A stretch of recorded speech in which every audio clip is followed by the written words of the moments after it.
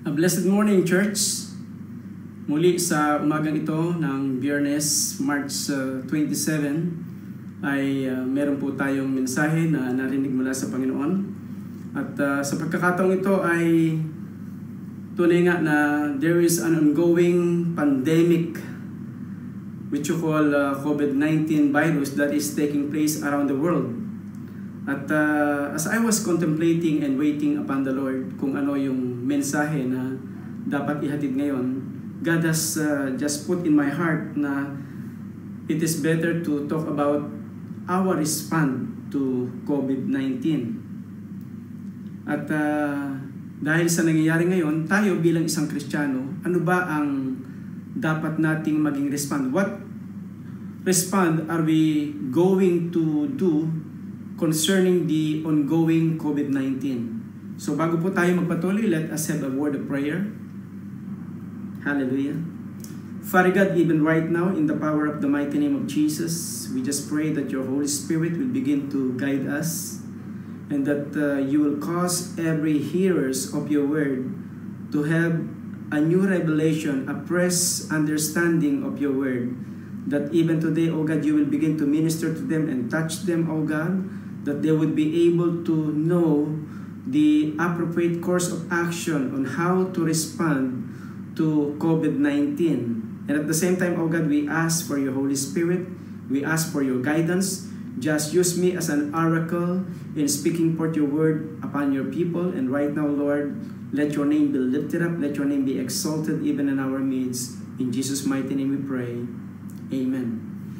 So sa umagang ito ay uh, sabi nga eh, what are the kind of action or how are we going to respond to COVID-19? Ano ba yung corresponding course of action na dapat natin gawin sa ngayon? Today, let us ask the Holy Spirit to give us a fresh and new revelation concerning the truth as He begin to unleash the three major action that needs to be done concerning the ongoing COVID-19.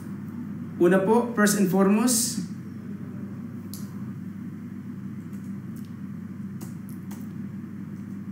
what are respond that we are going to do? First and foremost, do not fear.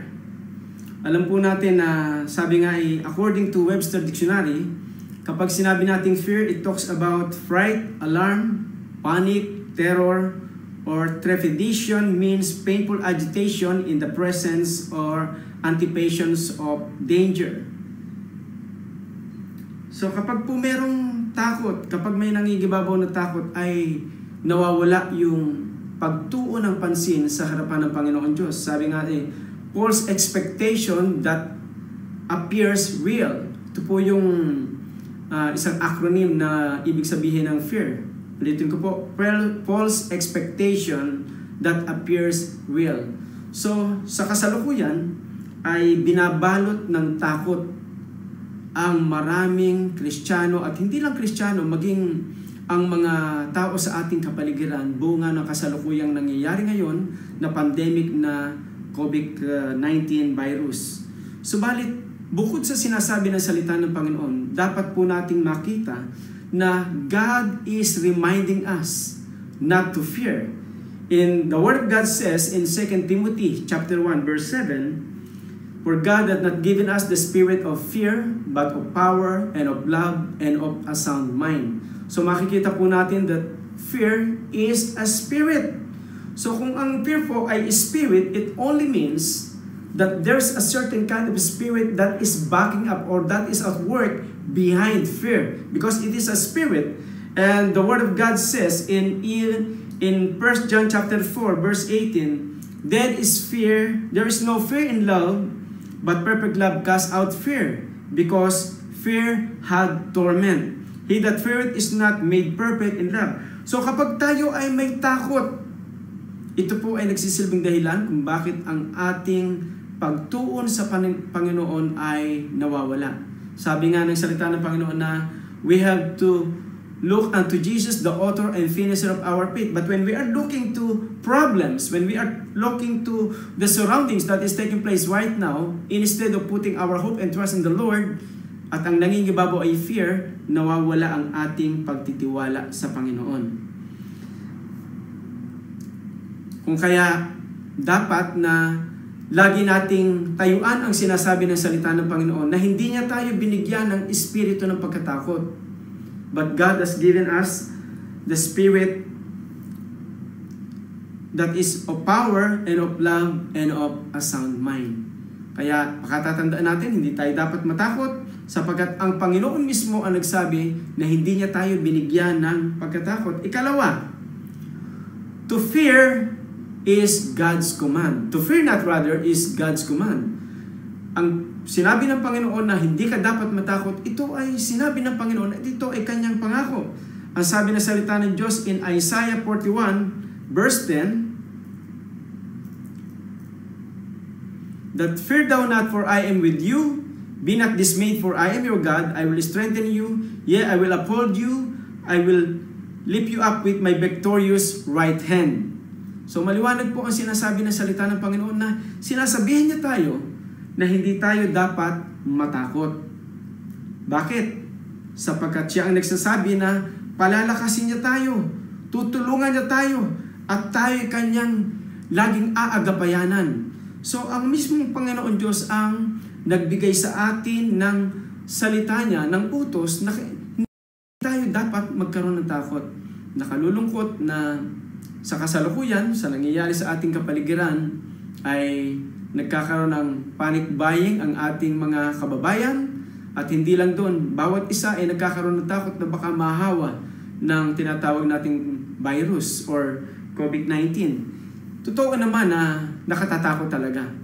At uh, hindi natin dapat ipagwalang bahala ang kasalukuyang nangyayari ngayon. Kaya nga dito sa UAE ay mahigpit na ipinagbabawal ngayon ang uh, paglalakad sa iba't ibang lugar. So meron tayong tinatawag na uh, temporary uh, suspension ng lahat ng mga gatherings sa church and at the same time even some other of the offices meron ng lockdown ngayon at sila ay hindi na kinakailangan magtrabaho. Home at work na tayo sa ngayon. So maraming kumpanya ang home at work sa ngayon, bagamat meron pa rin ilan na kinakailangan pa rin magpapasok sa kanilang mga kumpanya. But uh, the bottom line is that because of the current situation that is taking place right now, nagkaroon na ng lockdown dito sa UA. Katulad na lang ng uh, lumabas sa balita kanina, na kung saan from 8 o'clock tonight, which is Thursday, until Sunday morning, ay hindi pwedeng lumabas sa kanilang mga tahanan sapagkat magkakaroon ng pagdidisinfect sa area ng UAE. So in line with that, we really need to obey the authority upang sa gayon para din naman ito sa ating kapakanan. So, una, hindi tayo dapat matakot sapagkat ang Panginoon Diyos ay hindi nagbigay ng espiritu ng pagkatakot sa atin at ikalawa, tayo ay inutusan o inatasan ng Panginoon Diyos, sinabihan ng Panginoon Diyos na hindi tayo dapat matakot sapagkat ito ay kanyang ipinag-uutos. So ikalawang aspeto ay kinakailangan gamitin natin ang lahat ng opportunity.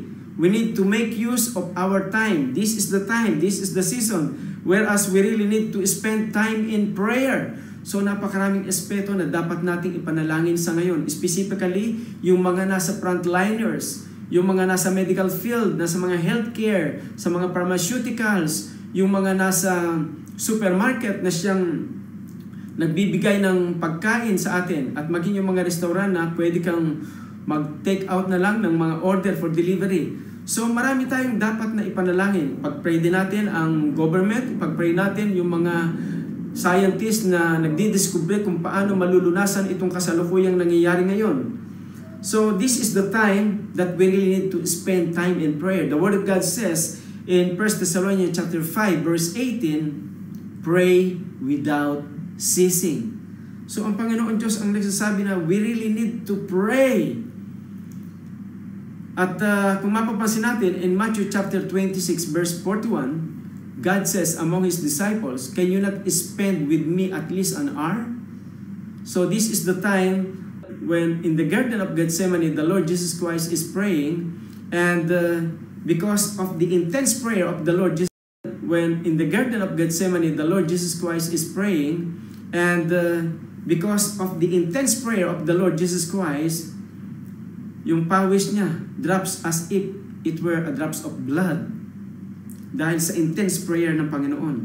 At maging sa pagkakataong ito, kinakailangan nating mag-pray. Even the, the Philippines, nag-declare na ang ating Pangulo na kung saan ay magkaroon ng National Week of Prayer and Fasting from March 23 until 29. This is a week of fasting, a week of prayer in which even the President is making an instruction, making a, a, a, a law making not, not ano, making an announcement na kinakailangan magkaroon ng pagpa-fast at prayer ang lahat ng sambahayan ng Pilipino. Isang magandang opportunity even among us as Christians na tayo ay manalangin. So merong mga tinatawag na uh, patient under investigation, merong mga person under monitoring, at uh, talaga namang kinakailangan ang labis na paghanda Meron din tinatawag na PPE o yung tinatawag na Personal Protective Equipment na labis na nagkukulang ang ating mga hospital sa ngayon. So napakaraming dapat nating uh, ipag-pray, subalit higit sa lahat, kapag tayo ay nag-pray, may malaking mangyayari sapagkat ang prayer ang isang uri ng sandata na pwede nating magamit panglaban dito sa COVID-19. Amen? So sabi nga ni David in Psalm chapter 55 verse 17, it says, Evening and morning and noon will I pray and cry aloud, and He shall hear my voice. So kapag tayo ay nanalangin, may katiyakan ang Panginoon Diyos ay tutugon. Sabi ng Jeremiah chapter 33 verse 3, Call unto me, and I will answer thee, and I will show thee great and mighty things which thou knowest not. In 1 Peter chapter 3 verse 15, it says, The eyes of the Lord is upon the righteous, and His ears is open unto their prayers. Ang Panginoon Diyos ay tunay ngang tumutugon sa panalangin. Ito ang isang magandang bagay na ating matitiyak na kapag tayo tumawag sa Panginoon, Siya ay tutugon sa atin. Call unto me, nasabi ng Lord. So sa ngayon, maraming mga supermarket, maraming mga tindahan, maraming mga establishmento ang sarado, but there is one thing that is open 24 hours, 7 days a week. At ang iyan ay ang pagtawag sa Panginoon na kailanman hindi nagla-lockdown. Mauubusan ng battery ang ating mobile, ngunit kailanman ang pagtawag sa Panginoon is always available. Amen? Kaya samantalayin natin ang pagkakataon. This is the time, this is the season na kung saan ay home at work ang marami nating mga kababayan, hindi lamang dito sa UAE, kundi maging sa Pilipinas at sa ibang lugar. So sa pagkakataong ito na tayo ay nasa bahay, meron tayong mas mahaba at magandang pagkakataon upang tayo ay manalangin. At kung tayo mananalangin, I believe God will move and He will show forth His power upon us. So, kung meron tayong sinasabi ang Panginoon Diyos na hindi tayo dapat na matakot. At ikalawang sinabi ng Panginoon ay samantalahin natin ang bawat pagkakataon. Sa pamamagitan ng pananalangin and at the same time, hindi natin dapat nakaligtaan ang fellowship o ang pagtitipon. Sa mga pagkakataong tulad ngayon, na kung saan ay temporarily suspended ang pag-gather ng mga churches, meron tayong magagawa. At salamat sa social media na kung saan ay nagagamit natin upang maipagpatuloy natin ang pakikinig ng salita ng Diyos, maipagpatuloy natin ang ating pagtitipon na kung saan bawat pamilya na nasa kanilang tahanan ay po pa rin makapag-fellowship sa Panginoon sa pamamagitan ng modernong kaparanan sa pamamagitan ng social media. And because of that, we could hear the Word of God. And at the same time, habang tayo ay nagpapahayag ng salita ng Panginoon, you could even open the Bible and afterwards you could share with one another among the family members ang ating mga pinag-uusapan ngayon.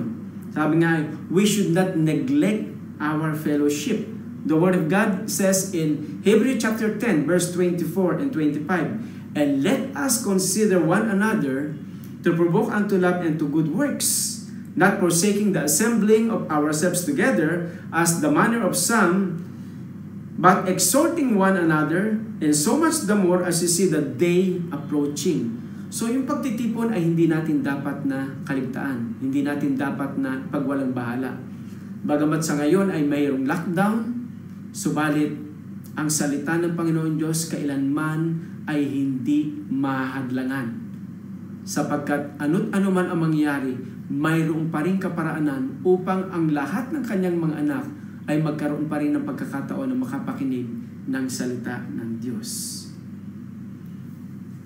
Nakalulungkot lang na sa mga pagkakataong tulad ngayon na may lockdown, yung iba talagang wala ng Bible study, wala ng prayer, and at the same time talagang napapalayo sa Panginoon. And I just pray na among the CLSF family, magpatuloy, magpakatatag, at lalong magpakainit sa Panginoon. Higit sa lahat, our fellowship with the Lord, our communion with the Lord, hindi natin, natin dapat na pabayaan. Because as we continually spending time with the Lord, God will begin to empower us, God will begin to strengthen us, and God will begin to reveal more of Himself to us in a way that we have not experienced it even before. So napakahalaga na tayo ay nagpapatuloy sa ating pakikipag-ugnayan sa Panginoon at maging sa mga kapatid, bagamat tayo ay nasa kanya-kanyang bahay, kanya-kanyang tirahan, kapag tayo ay sama-samang nakikinig ng salita ng Diyos, tayo ay napalalakas. Amen? So, isang bagay na dapat nating pakatandaan, may mga pagkakataon na dahil nga nasa bahay maluwag, maaaring maging abala ka sa mga gawaing bahay, sa mga household chores. Maaari din namang dahil nasa bahay, nagustuhan mo na lagi na lang manood ng telenovela, manood ng mga pelikula, although it might be Christian movies. Hindi ko naman sinasabing masamang manood, but kapag inuna natin yung panonood, paggawa ng ibang mga bagay, hindi natin namamalayan, natatapos ang maghapon, dumarating na lang na gabi na wala na tayong time para sa Panginoon. Kaya hanggat maaari, we need to put God first before anything else so that kung ano't ano man ang mangyari, nakapagbigay na tayo ng oras, panahon, at pagkakataon na basahin ang kanyang salita, makapanalangin, at higit sa lahat ay makipag-ugnayan sa kanya. Sa akin personally, as much as possible, I make sure na before doing anything, anything else, I already spend time with the Lord in prayer, in worship, and even meditation of His Word. Dahil alam ko na kung hindi ko gagawin ang bagay na ito, matatapos ang maghapon and I won't be able to spend time with God dahil mauubos ang oras ko sa ibang walang kapararakang bagay. So I make sure to spend time with the Lord. Amen? Kaya kapag tayo ay nag spend ng time sa Lord, sabi nga, iyan ang magsisilbing kaparaanan para magpatuloy ang ating fellowship sa Kanya. So ulitin ko, ano sabi? Una, hindi tayo dapat matakot. Ikalawa, kinakailangang gamitin natin ang lahat ng pagkakataon upang magamit ito sa ating ikalalago sa ating pananampalataya sa Panginoon na kung saan ang fellowship ay hindi natin dapat napabayaan at tayo ay lagi ng manalangin. Pangatlong aspeto,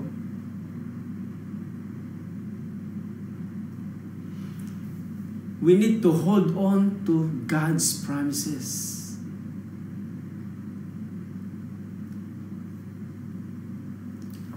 There are 31,173 verses in the Bible And among those, there are only 3,573 God's promises. Meaning, almost 12% or equivalent to 9 years and 8 months ang mga pangako ng Panginoon Diyos. Ang ibig sabihin, kung meron tayong pangako na pangahawakan mula sa Panginoon Diyos at isang pangako sa bawat araw, sa mga nakasulat sa Bible, it will last for 9 years and 8 months bago ubos yung pangako na equivalent to 3,573 which means kung bubuuin natin ito sa isang araw, meron tayong mapanghahawakan na siyam na pangako ng Panginoon Diyos sa bawat araw sa loob ng isang taon. Napakaganda at napakaraming pangako ng Panginoon Diyos. Kaya hindi tayo dapat mag-focus sa mga negativity na nangyayari ngayon sa ating kapaligiran. Yes, it is true that COVID-19 virus is true, but God is sovereign and His promises is much more higher than anything that is taking place around the world. The Word of God says that every name that is named in heaven and on earth shall bow down at the feet and on the name of the Lord Jesus Christ. Yung pangalan niya na COVID virus, it will bow down at the feet of the Lord Jesus Christ. So, we need to hold on to God's promises because He promises has been written through the Word of God. Ang sabi ng Psalm chapter 89 verse 4, 34, My covenant will I not break, nor alter the thing that is gone out of my lips. Ibig sabihin, tapat ang Panginoon Diyos sa kanyang pangako na kailanman titiyakin niya na magkakaroon ng katuparan ang lahat ng kanyang sinabi. In Joshua chapter 23, verse 14, it says, And now I am about to go the way of the earth, and you know in your hearts and souls, all of you, that not one word has failed of all the good things that the Lord your God promised concerning you. All have come to pass for you, not one of them has failed. Tingnan natin. Napakaganda na ang pangako ng Panginoon Diyos kailanman ay hindi mababaliwala. Sabi nga ng Matthew chapter 24 verse 35, Heaven and earth shall pass away, but not His word. So napakaganda na ang salita ng Panginoon Diyos kailanman ay hindi magbabago. Matthew chapter 4 verse 4 says, Men shall not live by bread alone, but by every word of God that proceeded forth out of His mouth. Ang pangako ng Panginoon Diyos ay kinakailangan nating panghawakan. Kinakailangan natin ito sa bawat araw. Kung paano tayo ay kumakain araw-araw upang magkaroon ng kalakasan ng ating katawan, lalong higit na dapat tayong magkaroon ng spiritual food as a nourishment for our spiritual body. For our physical body and for our spirituality. Kinakailangan ang salita ng Panginoon Diyos ay patuloy nating ninanamnam sa bawat araw upang sa gayon magkaroon tayo ng pangkalak, pangkalakasang pang-spiritual sa bawat araw. So, hindi lang ang pangako ng Panginoon Diyos ay tapat, kundi ang pangako ng Panginoon Diyos ay dapat din nating pagbulay-bulayin sa bawat araw. Ang sinasabi ng salita ng Diyos in Joshua chapter 1 verse 8, This book of the law shall not depart out of your mouth, but thou shalt meditate on it day and night, that you may be careful to do according to all that is written on it, for then thou shalt make thy way prosperous, and then you shall have good success. In Acts chapter 17, 11, the church in Berean, now these Jews were more on, were more noble than those in Thessalonica. They received the word of God with all eagerness, examining the scriptures daily to see if these things were so. So, ang church, ang Berean church, they search the scriptures daily. Bawat araw, sinasaliksik nila ang salita ng Panginoon Diyos. Tayo, na mga Kristiyano, binabasa ba natin, binubuklat ba natin ang ating Biblia sa bawat araw? Nakaka-receive ba tayo ng bagong kapahayagan mula sa salita ng Panginoon Diyos? Nakakalungkot na bumili tayo ng Biblia, pero ang Biblia, matapos nating mabili, hindi natin binubuklat. The Bible is the Word of God, and God has written all the promises that we could claim. But not unless tayo ay nagbigay ng oras at panahon sa salita ng Panginoon Diyos. Although the Bible is the Word of God, hindi ito magkakaroon ng katuturan kung hindi natin binabasa. Ito yung pinakang love letters ng Panginoon Diyos para sa atin. So, sa ngayon na may COVID-19, ang dapat natin gawin ay panghawakan ang salita ng Panginoon Diyos. So, what are we going to do? How do we respond to COVID-19? First, hindi tayo dapat na matakot. Do not fear. God does not want us to entertain fear. And secondly is that to fear not is God's command.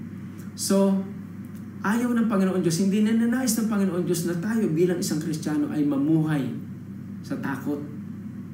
Sapagkat ang nais niya, tayo ay maging matatag, malakas sa pamamagitan ng kanyang salita. Ikalawa, God says that we need to make use of our time wisely. And we need to spend time in prayer and we should not neglect the fellowship or gathering together. Ikatlo, we need to hold on to God's promises. God is faithful to all His promises. Ikalawa, we need to have a daily meditation of His Word. So sa pagkakataong ito, na dumaranas tayo ng pandemic, COVID-19 virus, yan ay totoo pero hindi natin dapat ituon ang ating kaisipan sa mga bagay na yan sapagkat meron tayong higit na dapat na pagtuunan ng pansin at ay yan ay ang pangako ng Panginoon Diyos. Kapag pinagtiwala natin ang salita ng Panginoon Diyos, makatitiyak tayo na ang lahat ay magiging maayos. Maraming salamat mga kapatid and uh, let us have a declaration even at this time Let us declare Psalm 91 verses 1 up to 16 bilang ating pangwawakas sa ating mensahe sa araw na ito.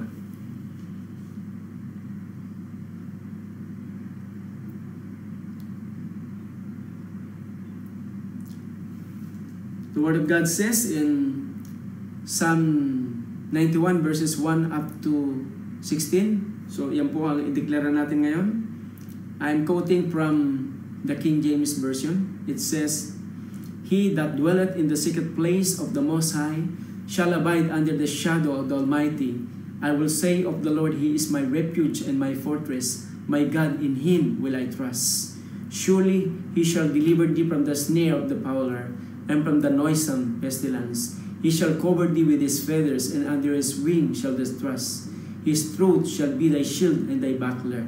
Thou shalt not be afraid for the terror by night, nor for the arrow that flies by day, nor for the pestilence that walk in darkness, nor for the destruction that wasted at noonday. A thousand shall fall at thy side, and ten thousand at thy right hand, but it shall not come nigh thee. Only with thy eyes shall thou behold and see the reward of the wicked, because thou hast made the Lord, which is my refuge, even the Most High, thy habitation. There shall no evil before thee, neither shall any plague come thy dwelling. For he shall give his angels charge over thee to keep thee in all thy ways. They shall bear thee up in their hands, lest thou dash the foot against a stone. Thou shalt tread upon the lion and the adder. The lion and the dragon shall thou trample under feet. Because he has slept his love upon me, therefore will I deliver him. I will set him on high, because he had known my name. He shall call upon me, and I will answer him. I will be with him in trouble. I will deliver him and honor him. With long life will I satisfy him and show him my salvation. So let us have a closing prayer now. Hallelujah. Father God, once again, we thank you for your messages that in spite of what we are going through, we need to respond to COVID-19 virus, O Lord. Whereas you said, O God, that we must not fear. And we need to make use of our time wisely. And we need to hold on to your promises. We thank you, Lord God, that you have given us the weapon that against this virus, O God, you have given us the promises that we can hold on to. And we thank you, Lord. I just pray that you will pour out your favor, your blessing, your protection, your provision, upon your church, O God. Lord, put a hedge of protection around your church and bless them even right now. In the name of the Father, of the Son, of the Holy Spirit, and God's people say, Amen. Maraming salamat po at God bless you.